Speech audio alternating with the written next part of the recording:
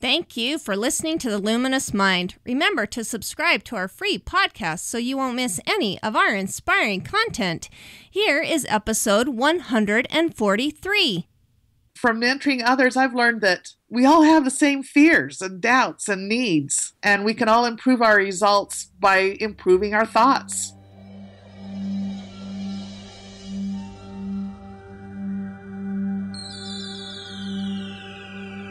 Benjamin Franklin once said, Do not curse the darkness, rather light a candle instead.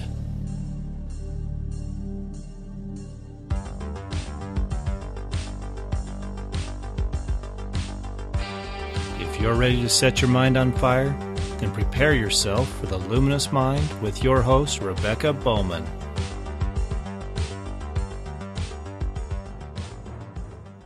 Today's fire starter is Bonnie Slaughter. Bonnie Slaughter has been a piano teacher for over 40 years. She is a nationally certified teacher of music. She's a member of the Idaho and Utah Music Teachers Associations. She has served as president of the Bridgerland and Ogden UMTA chapters, and hopefully she'll tell us a little more about that later. She has also served on the Utah MTA State Board. Bonnie is the director of the Oakwood Music Studio. She maintains a studio of about 100 students from newborns to adults. She has published five books, including Music Camp, which she also enjoys sharing with music teachers across the country. She's also created Theory Strips, a series of music theory workbooks to help students better understand and apply theory. She has recorded a series of audio CDs titled Surviving the Music Lesson Roller Coaster for Parents and Music Teachers, and Thriving on the Music Lesson Roller Coaster for Music Students. She's now offering classes and personal mentoring to parents and music teachers where they learn tools to empower, inspire, and motivate their children and students. Bonnie is the founder and director of the North Cache Valley Performing Arts Festival, which was held in Preston, Idaho each spring. The mission of the festival is to provide adjunction and performance opportunities for students of all musical genres and abilities. She is married and has five children and 19 grandchildren. Welcome, Bonnie. Thank you. I'm really excited to be here with you. I'm excited to hear about your music instruction and how you help others. But before we start with that, please tell our audience a little bit more about yourself. Well, like I said, I live in Preston, Idaho now. It's just a small town, but it's a great place to have a music studio. I feel like I have the cream of the crop. And I have the advantage of belonging to both the Idaho Music Teachers Association and the Utah Music Teachers Association. So I've got wonderful colleagues, and I really enjoy what I do. That's awesome. And then with the internet too, she has a thriving online community, correct? Yes. In fact, I'm going to be doing some webinars. I, in fact, have been using YouTube with my students. I've found that instead of me repeating myself, uh, I'll just say, here's the YouTube thing, go watch this again and let you watch me tell you again what I've already told you. So it's kind of been really fun to take advantage of those tools. That's great. And so you can live in beautiful Preston, Idaho, but you can use the internet to grow your business. Great. That's right. And I do have my 20th grandchild coming uh, within the next month or two, so we're excited about that. That's really exciting. Yes. Great. So tell me, what did your journey look like that led you to discover what you love to do? You know, how did you find your mission of teaching music? Well, I wasn't the best piano student, so I have to apologize to my teachers. We all are there, right? but you know that that's good experience for us to help us relate to our students. But my mom kept me playing in church, which required me to practice and perform and to accompany, and those are major, just huge skills that I like to have to pass on to my students. And so, of course, when you play in public like that, it leads to people asking if I would teach their kids. And so now I've taught piano for over 40 years, and I just love seeing the progress of my students. I love the Music Teachers Association. My best friends are part of that association. And my education, we have monthly meetings and state national conferences, and they're just amazing. I love learning and earning my national certification was a major accomplishment and growing experience not only for me but for my students That is great. And so tell me a little bit about the inspiration behind your mission and passion. I mean, you start out teaching and then that has turned into books and all kinds of wonderful videos and things like that. I mean, how has that grown? Right. I've spent a lot of years creating ways or looking for ways to solve problems that my students were having. And I think most teachers do that. How can I get this concept across? And so I've just had a passion for creating games and different ways to help my students learn. So that's why I created the summer camps, the music camp manuals for teachers. Usually they're like four days in a row for just one hour a day, but it creates a social network and social place for our students to get together with other students and learn, which is very motivating for them. Well, maybe that when they realize they're the only ones that don't enjoy practice, exactly, it helps them feel a little more comfortable. yes, you know, and doing things like even as simple as note names. When you have a game, you know, King of the Hill, and you've got two teams competing against each other, how much more fun is that than just sitting in front of someone and having them hold up a flashcard. So, group classes are one of my passions because I think they're so effective in helping students retain and learn the information that they need. So, you have 100 students in Preston. Do you have any, do you do online? You talked about doing webinars and stuff, but do you have a, an online community as well? Not yet. I do in person presentations to teacher groups, and that's what I would like to move to the webinars kind of focus uh, with the teachers and then they build their own community. Is that yes oh, yes. uh, and educating parents also. I'll tell you in a little while that is another one of my passions that i discovered. Great. All right. Well tell us some of the challenges that you've had along the way and then what's helped you learn what you've learned from those. Uh, i would imagine that that's a lot where some of your material comes from is those challenges. Yes fact, that's one of my biggest passions is what I've discovered in the last few years is how I can motivate my students because they learn best when they want to learn.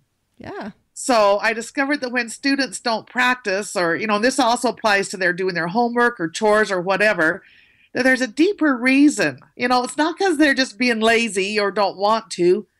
I found out that there's there's some emotional blocks that I need to help them get over and that just causes breakthroughs. So when I first started teaching, so to speak, so like for the first 30 years, you know, I created a lot of games and motivational charts and different things, which I still use. But if they don't want to play, if they can't get themselves to the bench, none of those games are going to help. Yeah. So have to address the root cause. And so I've recently discovered over the last three or four years some real breakthroughs, in my opinion, not only for me, but that I have shared with my students and their parents. So I found that they're being burdened with emotional reasons of why they're not practicing. That's interesting. And so I'll tell you about one of my first discoveries on this. So I learned about declarations and how important they are. So since I have a large studio, I have lots of guinea pigs. so one student, I had a family where I was teaching four of the kids in the family. And one of them was a 14 year old who really wanted to play but never practiced. I mean, like, never, never practiced. And so her mom decided that she would take her to another teacher who had lower expectations, and maybe that would help. And so they tried that for a year. Then they came back and said, okay, we just wasted a year of lessons. Uh, but I, you know, when they're about 14 or so, I consider them to be adults. And so I required the student to come and talk to me. And she said that she really wanted to learn how to play. She really, really wanted to learn. So I said, okay, I would take her back. And, you know, we went like six weeks. And again, she wasn't touching the piano. And so one day she walked in and she just said, I just need to tell you, I haven't touched the piano this week. And usually when that happens, I have them, we just go through their practicing their lesson to make sure they know how to practice, because that's a big stopper for a lot of them. They kind of feel overwhelmed and don't know how to start. And so we usually just go through that. But this had been several weeks again. So I says, you know what? Sit down. We're going to do something else today. We're not going to play the piano. And so I asked her to write down for me on this piece of paper the top 10 negative things she heard in her head when it was time for her to practice. She knew she should be practicing, but she just didn't want to. What are the top 10 things going on in your head? And I thought, well, that's going to take her a minute to ponder, right? Yeah. Yeah, no. She just, I mean, she writes down those 10 things like very easily. No pondering needed. So I said, okay, so let's look at this list. Number one, I'm not good enough. It's like, holy cow. Wow. And I read through her whole list and it was like, why try? I'm never going to make it anyway. It was all that kind of stuff. And so we took that list and then on the, the we folded it down the middle and on the other side, I had her write the exact opposite plus one more. So her first one, I am good enough and I am beautiful. oh, awesome. And we went through her whole list. And this is how I discovered that we need to write declarations. Then we take and we cut the paper in half. And then I asked her if she wanted to put the negatives through the shredder.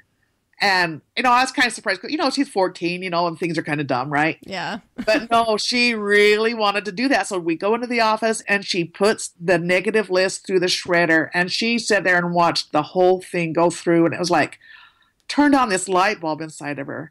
And then we typed up her positive statements, turned them into her declarations. Then I taught her how to stand tall and use her body language to really project those declarations. And it turned her around. Wow. In fact, after we went through them, and you know, I had to have her say them like five or six times because you have to say them big voice and powerful. You can't just whimper and whisper those declarations. You've got to convince your mind that they're true. And I said, Do you think this will help you with practicing at all? And she says, You know, this will not only help me with practicing, but this will help me at school too. And we talked about how those negative voices are just unseen things. Yeah. She Yeah. says, I want to tell you that those negative things are not just, I'm not hearing them in my mind. She goes, I have real people telling me those things every day. Wow. And I thought, how sad. But that was such a major turnaround for her that the very next week she came in fully prepared, had a perfect lesson, and that has continued. Wow. That Um, really neat. I love your approach. Well, you know, and that's what I'm finding. So I thought, well, if it works for her, right? So we did it as a group class and individually, and every single one of my students now have declarations. And so when they walk in the door, if I can see their, their body language is kind of like down, first thing they do is stand tall and recite those declarations. So they have them memorized. It's on their assignment sheet. I expect them to do them every day. Wow. So you're not only helping them in their music studies, it sounds like you're helping them with their whole life. I mean, that's amazing. That yeah, that's how it has turned out. So one really fun thing. So at the end of the year, that year, I decided, you know, I love these declarations. I we need to share them. And I was kind of wishy-washy on it because they're pretty personal. Because each person's declaration started with their negative thoughts. yeah. And those are very uh, intimate thoughts that they Yeah. have about themselves. Yeah. Uh, it turned out being really fun. We went ahead and did it. But you know, the parents knew, okay, here's where they came from as the the opposites. And so as the students are reciting their declarations, your mind's kind of going, Oh, where did that come from? Especially when they're doing things like, My mom is amazing. I listen to my mom. You know, really, really funny. But it made such a difference in that recital. And afterwards, I had so many people say, you know, you always have great recitals, but this one just was extra special. And as I went back and pondered what was different, I realized that, you know, usually as the students are sitting there in line waiting for their time to play, it's just natural. All of us have going through our minds what we're going to do next. So instead of fretting about their songs, which were either ready or not, the very first thing they were going to do, they were going to say their name, age, what they were playing, their composer, and then they recited their declarations. So what they had going through their mind the whole time they were waiting was their declarations. So they're going through their mind saying, I'm amazing. You know, I'm a fabulous pianist. People love hearing me play. And so that's what they're having going through their mind the whole time they're waiting their turn, just because that's what's natural for them to do and it's going to be the next thing they say. Wow. So yeah. it created such a phenomenal atmosphere in that studio that I've continued to do it. It's just, it's really amazing. We tweak their declarations because some things are issues and then they grow out of that and different things are issues. And so it's kind of a live document. So we print them out on parchment paper and put them in the front of their binders where they keep their assignment sheets and it's part of their assignment sheet that I want them to do every day. Another thing that I found as I was working with them is I had the thought really strongly that I need to teach the parents. I need to teach the parents how to communicate and empower their children because I would see really sad examples. For example, I had two little boys who were doing fabulously well. They were winning competitions and doing really great. And then one week they came and like they weren't prepared. You know, they had done some, but not much. The next week they came and they had practiced not at all. And finally, the third week, the mom confided in me that they had overheard dad say that playing the piano was for sissies and they should be out doing chores. Wow. And I have found from my 40 years of experience that parents don't even need to say things out loud, just the energy, you know, especially if dad's resenting paying for lessons in any way, that energy carries over to the kids and it has a huge impact on them. So I discovered I need to teach the parents. So this one year, instead of piano lessons for the week, I had a parent meeting and we discussed different successful tools for motivating and helping their kids and what they should say. And we talked about Dr. Emoto's water experiments. I don't know if you've heard that or not. Oh yeah, with the crystals. Is that... Yeah, yes. And so if we are 70% water, what effect are your words having on your kids? So we talked about things like that. And the next week, I had one of my older students who was like a junior. In fact, she came in for a lesson. She sat down on the bench. She says, Before we start, she says, I've got to thank you for that parents' meeting. She said, My mom came home and apologized to me. That was a situation where that really needed to happen because this girl just struggled to have any support whatsoever. And so that led to the creation of the audio CD for parents to give them the tools to motivate and empower their children because obviously we need to hear something more than once. And so I wanted those parents to hear it over and over and over again and just remind them of the simple tools that they can use to help their kids. Yeah, I think sometimes when you are a parent and you're sending your child off to a teacher, you put all the responsibility on that teacher. But right. you, as a parent, really do have a, a responsibility to be a great mentor to your children. I send my kids off to piano, I don't even play myself.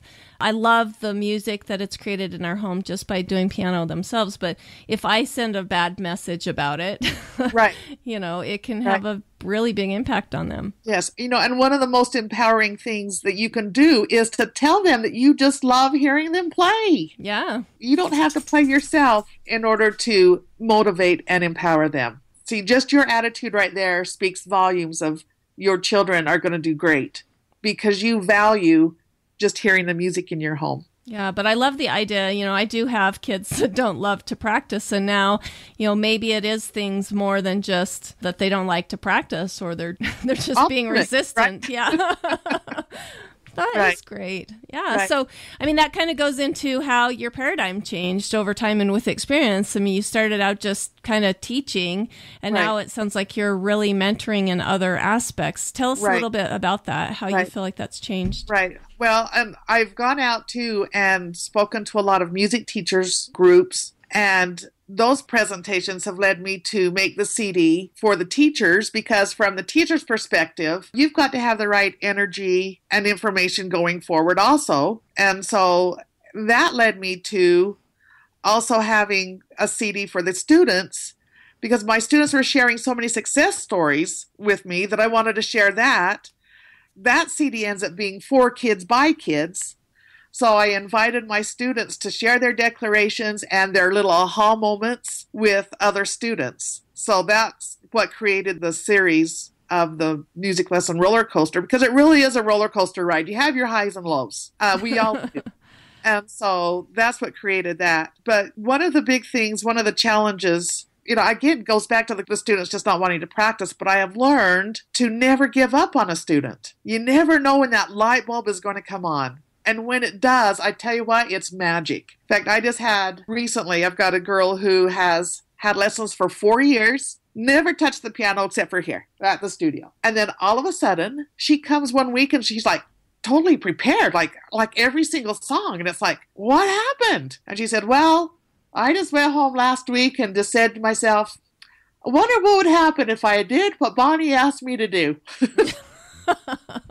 and it's like she has been on fire for like the last oh, it's been like September. And it's just amazing. So you just never know what's going to turn on that light bulb. So I have, and I've had it happen to me enough that I just never give up. We just keep searching for tools and different things. So I think my biggest paradigm change is that my students and their families are just they're not just learning to play the piano. I'm teaching them life lessons. And so it's my opportunity to help them grow and learn and succeed and share their talents and be successful in life. So I think that's my biggest paradigm change is it's not all about the piano. That's just a tool to use in helping them grow and succeed in their lives. Wow. And I really do love that idea. Just the idea that you're not going to give up on them, just when they see that, that you're not going to give up on them, that really does create a different feeling in their life completely right. you know just not in piano but maybe you're the first person who has stuck with them and said well we'll try whatever it takes right. type of attitude right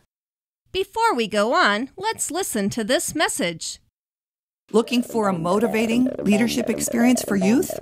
Foundations of Liberty has been creating revolutionary leadership retreats since 2009.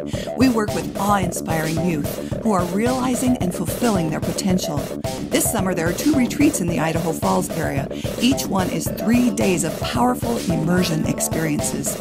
Our website is WeDevelopMoralLeaders.com. One mom said, This has been a game changer for my daughter. A young man said, It taught me the importance of seeing potential rather than faults. These youth are not ashamed to admit that they want to be good and do good. More information at www.wedevelopmoralleaders.com.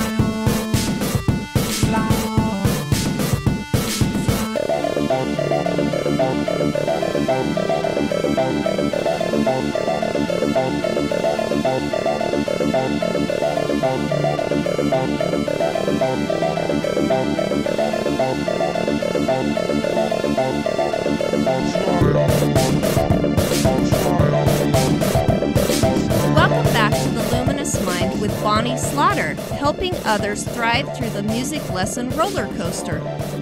Love it. And I and I have found that they listen to other kids. Their peers are powerful. In fact, I have assistants. Some of my older kids are assistants. So while students are here, I have more than one here at a time. Maybe somebody needs help working on, you know, some part of their lesson, so I'll have an assistant work with them or whatever. But this girl that I was just telling you about who just came alive, I had her come and be an assistant this one day. The normal assistant couldn't be here.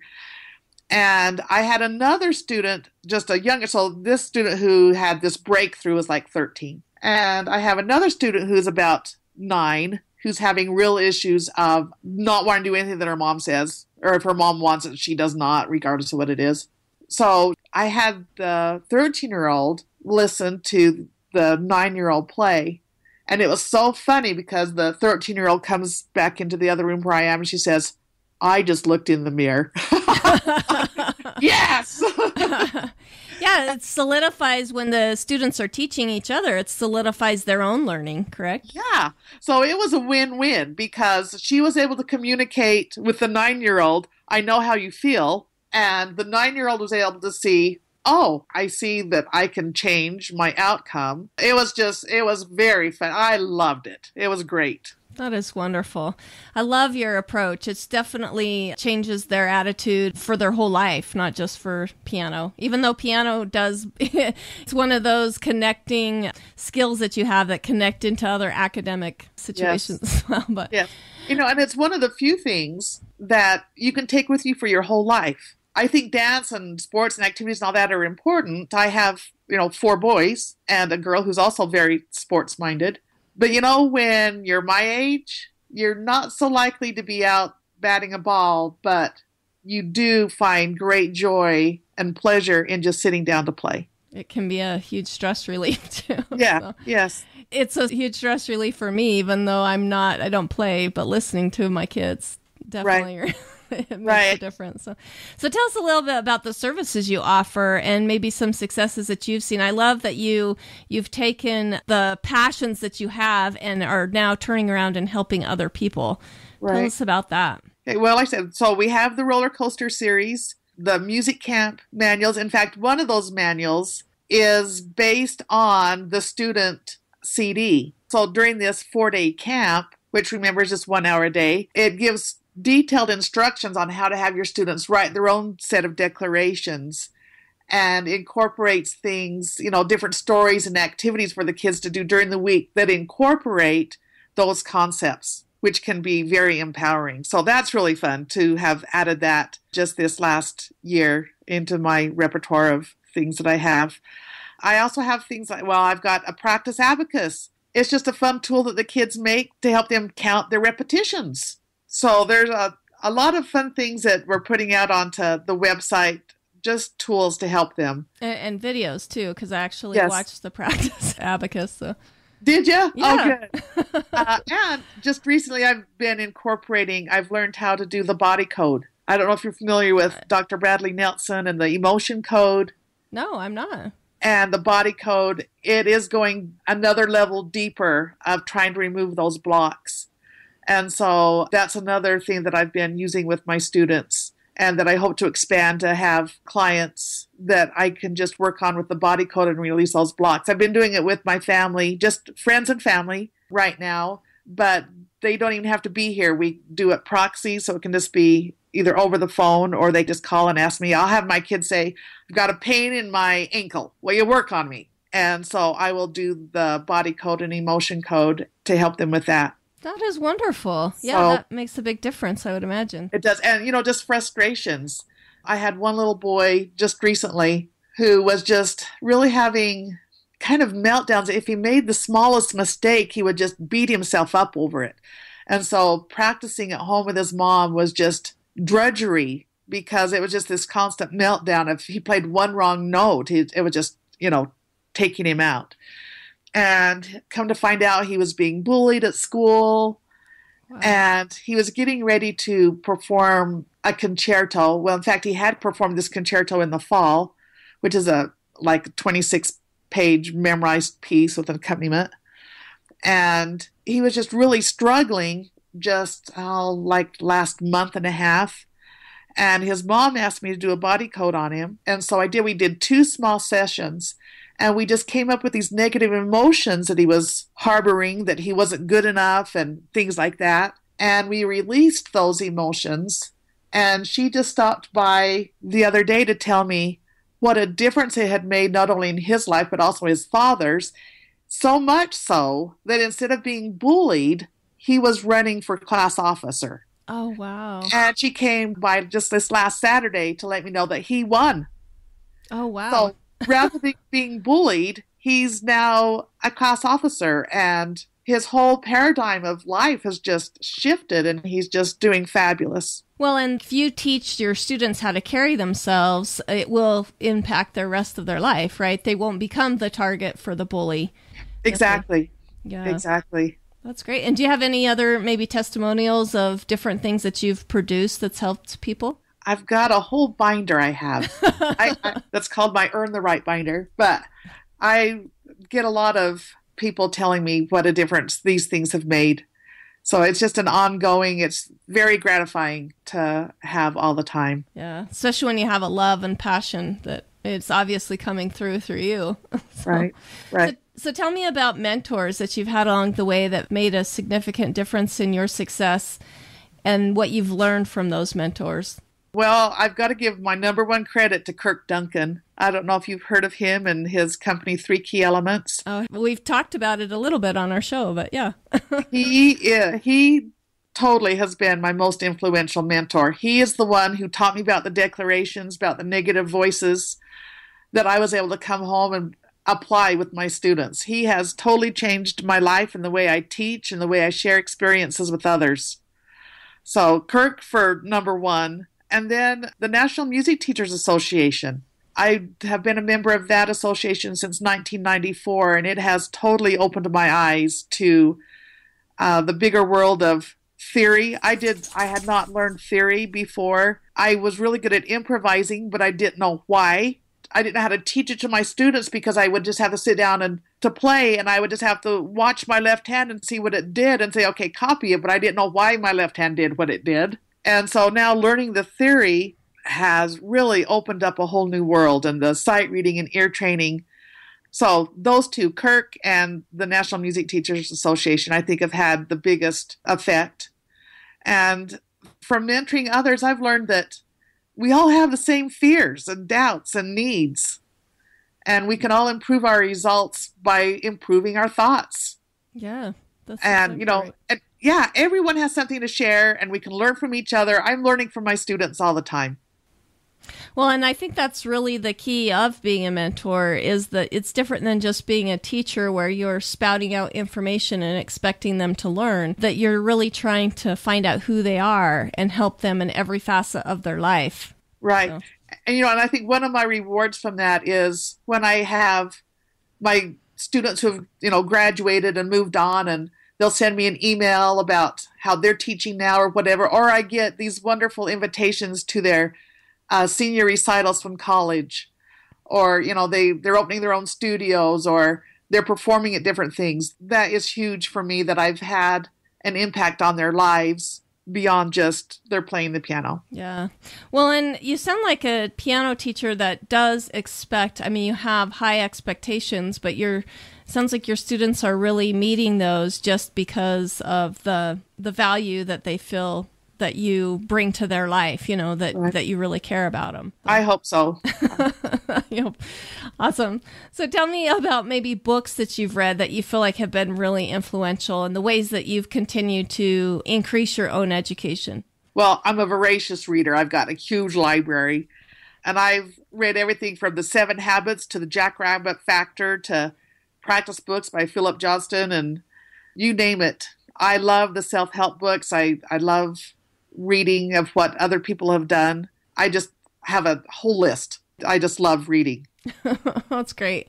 So, what do you feel like some habits in your personal life that have been really helpful? Well, just don't give up. Keep pursuing answers. Don't be afraid to ask the questions and go search out the answers. Another one of my favorites is Three Feet from Gold. I don't know if you're familiar with that book or not, but you know, just sometimes, you know, people like the students who aren't practicing or aren't making progress or whatever, or sometimes they even are. And all of a sudden the parents say, Yeah, we're done. And it's like, oh, if you would just just uh-huh. a little bit longer and you'd have your payoff. But they just they quit. You know, I have students I do a program called Let's Play Music by Shelley Solberg, which is phenomenal program for children ages four to six and it's such a dynamic way to give them a wonderful foundation in music for anything that they want to pursue. You know, the first year they're not even on the keyboards or pianos. It addresses theory and pitch, the uh, rhythms, and all those things are introduced and through play. And it's amazing the results that we get when we put them on the keyboards. But you know they're required to do like listen to their CDs and play for like five minutes a day and I have this one boy who is so, so talented, so gifted. He loves experimenting with sounds and things. And his mom came in the other day and says, This is just too intense. We're done. And he's not even going to finish the semester. And it's like, Oh, please. Oh, my goodness. Yeah. You know, this is, you know, for a six year old, you know, five minutes a day is too intense. Uh, so, anyway, just don't give up keep pursuing answers and just don't give up. Yeah, I think sometimes we do. We cut ourselves short and really stop the progression when we just decide that uh, we can't find the answer or we can't find the, you know, it doesn't come fast enough or something right. like that. So, and I think sometimes, you know, not everyone values music. Yeah. And you got to do where your passions are. And so finding value in what your kids want to do is important. Yeah. And the kid may love it, but the parent, you know, they like you said, they don't see the value in it, then they'll pass that on to their kids through right. through their actions and words. Right. And so they obviously lessons aren't going to last long when there's no support from home, which takes us back to the CD for parents. so tell me, uh, what are your long term goals that are helping to work towards a legacy? You know, let's talk about a little of that. Okay. Well, I think, you know, I just, I so want to inspire and motivate parents and music students and their teachers because there is such a decline in the number of people who can play. Uh, you know, it takes work. And it just seems like nowadays they don't want to do things that take work. Uh, I have a lot of parents. The paradigm is, you know, I want to just like take them to dance, drop them off, be done, not have to do anything else with them. And so I really want to motivate the parents and increase the number of students who are learning to play instead of watching it just decrease. So, a really out there, great big goal I want 10,000 people around the world to listen to my CDs and apply the concepts. How's that for a great big long term that would be wonderful. Well, hopefully this podcast will help with that. So, and the legacy, I guess, of course, is to be an inspiring mentor to other teachers or parents or uh, students. I, I mean, what what do you feel? What's your legacy? all of them. I think my greatest joy is just hearing those that I've taught play the piano or organ and sharing their talents, you know, whether it's my own kids, my grandkids, or just my, you know, just my students. I just love hearing them play and it just never gets old. Yeah, it's definitely when uh, you've put the work in as a parent and you hear your kids play. It's a heartwarming thing, you know that It you can. No amount of money can beat that. So Exactly. great. In fact, you know, my mother in law passed away last fall, and it was so gratifying that in a short term, so you have three days or whatever to plan a funeral, that we could call upon my my children and my grandchildren to perform musical numbers. You know, here's a piece that grandma liked. Can you learn this? And have them be able to pick up a piece of music and learn it and perform it in three days is Yeah. very gratifying. Yeah, for a tribute to somebody that you love too. Yes. Oh, how wonderful. So, before we say goodbye, do you have any final parting words of advice for our listeners? And then give us your contact information of how we can connect with you.